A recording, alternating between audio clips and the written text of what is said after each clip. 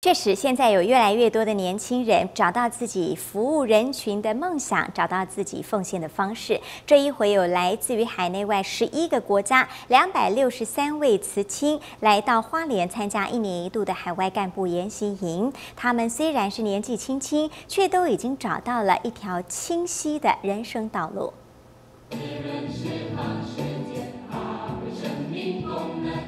手语歌展现活力与大爱，也让来自世界各地的慈青传法入心，无障碍。You need to care what goes around their life, even though you can't help much, but just being there and showing love, you can change somebody's life. 柯家坡来自南非，两年前还是学员的他，现在成为学长。这次带领当地八位慈青回到花莲，他们也准备精彩戏剧表演慈济十届，博得满堂彩。Because I'm more experienced and I know what to expect. I'm going to help the new guys, our new volunteers who also coming for the first time to feel at home and also to learn as much as they can so that when we go back home, we can make a difference in our community.